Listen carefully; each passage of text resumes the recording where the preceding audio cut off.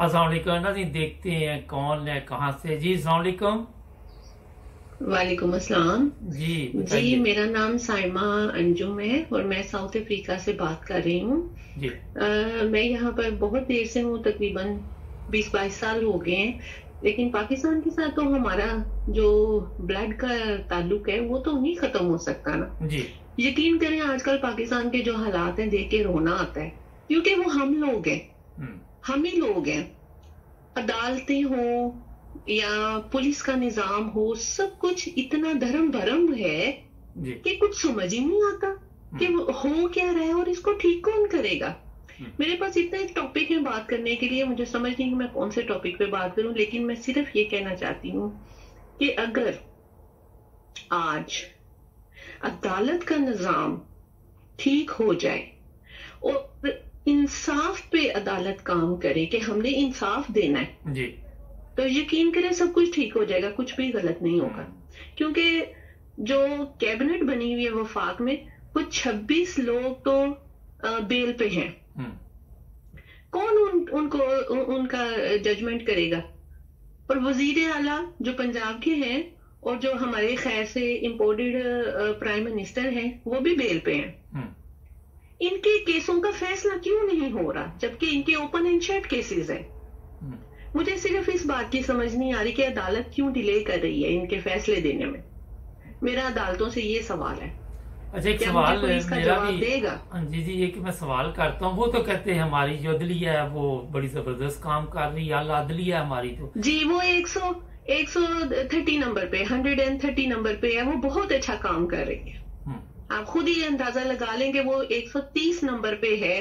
पूरी दुनिया में जो अदालती निज़ाम है उसमें 130 नंबर पे पाकिस्तान की अदालत आती है। तो आप इस पे जज कर सकते हैं कि वो कितना अच्छा इंसाफ दे रही है।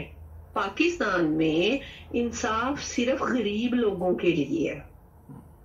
अच्छा क्योंकि आप अगर कोई चोरी करता है गरीब लोग अगर कोई किसी की भैंस चोरी कर लेता है साइकिल चोरी करता है मोटरसाइकिल चोरी करता है उसको ऐसी सजा दी जाती है ऐसी सजा दी जाती है कि उसकी सात नस्लें सात नस्लें भी माफ़ी मांग लेती है कि आइंदा हम कोई जुर्म नहीं करेंगे।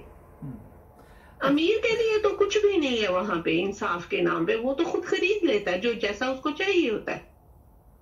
आप कौन से जजमेंट जजों की बात कर रहे हैं? नहीं नहीं हमारी अदलिया कहती है ना बयानात तो उनके यही होते मैं तो मुझे तो पता है सब चीज़ों का कि लेकिन वो तो कहते वो तो कहते जी हमारे खिलाफ है? मैं कह दूँ। हाँ जी कहने का क्या है? मैं कह देती हूँ मैं साउथ अफ्रीका की प्रेसिडेंट हूँ। हम्म। चले। अच्छा मैडम ये बताइए।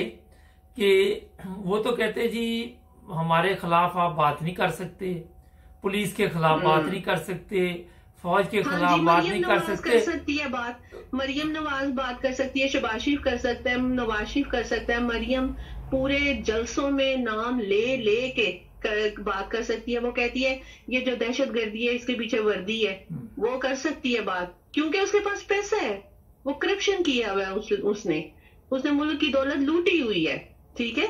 वो बात कर सकती है। उसको हक है उस पर कोई गद्दारी का मुकदमा नहीं होगा। उसके ऊपर कोई पर्चा नहीं कटेगा उसके ऊपर कोई अदालत में नहीं जाएगा कोई बात नहीं करेगा। लेकिन अगर अगर इमरान खान ने ये कह दिया अपने इंटरव्यू में कि अगर उसने अगर का लफज लगाया है। हम्म, उसने कहा कि अगर हमारी मीशत तबाह होती है तो फिर मुल्क अगर मुल्क में पैसा नहीं होगा तो वो तनख्वाही कहाँ से देंगे? ये जजों के जो इतने, इतने जो सुप्रीम कोर्ट का जज है हाई कोर्ट का जज है हमें एक करोड़ रुपए महाना में पड़ रहा है।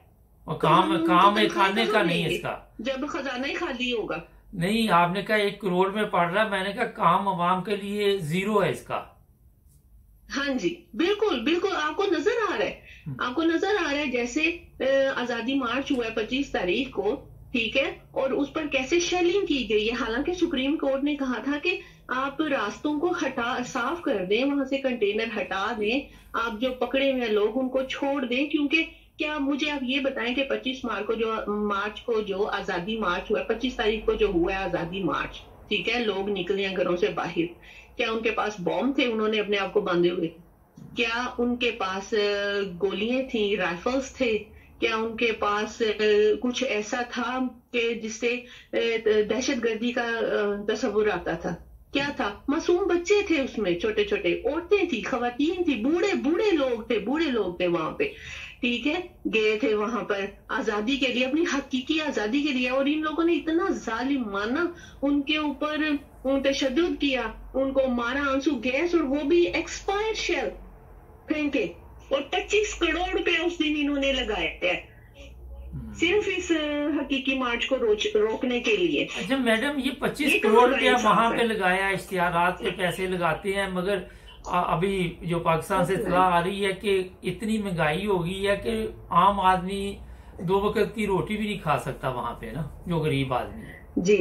बिल्कुल गरीब आदमी के लिए तो बेचारे के लिए मुश्किल ही है ना। कैसे खाएगा? वो पेट्रोल इतना महँगा है चीज़ें इतनी महँगी हैं। ज़रूरत की जो अशिया है सबसे पहले तो वो प्रेफर करती है ना अच्छा आपके ख्याल में ये जितने लोग पाकिस्तान में हैं इनको कोई अवाम का दर्द है? किसी को जो इस वक्त हुक्मरान है या पिछले तीस साल से जो आए नहीं जी नहीं। नहीं जी नहीं किसी को कोई दर्द नहीं है। इनके अपने मेफेयर अपार्टमेंट्स हैं इनके सराय महल हैं इनके रायविंड रोड पे जो पच्चीस हज़ार कनाल की प्रॉपर्टी है इनको सिर्फ़ उनकी फ़िक्र है। हम्म, उनको वाम का दर्द जिसका वो वाम का दर्द होता है ना जिसके दिल में वो वाम के लिए काम करता है जनाब।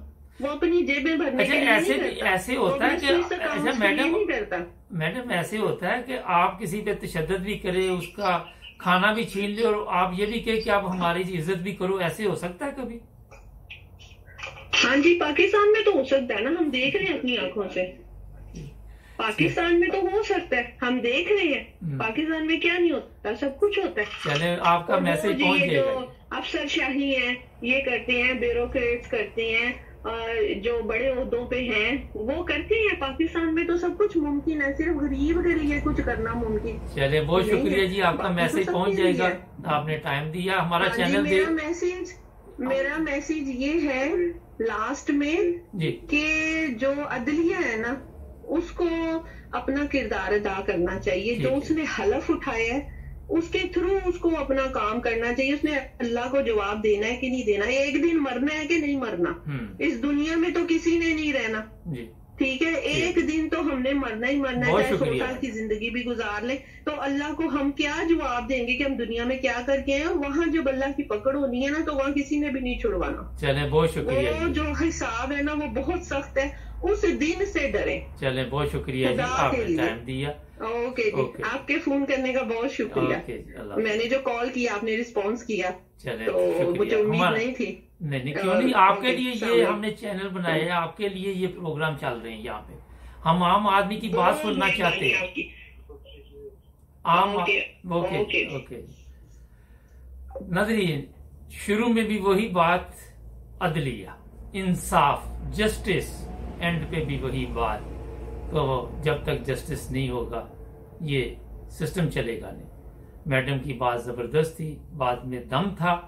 अब आपने सुनना इसे फॉरवर्ड करें ताकि लोगों में शौर आए, समझ आए, अक्ल आए सब्सक्राइब करें, जुड़ जाए हमारे साथ।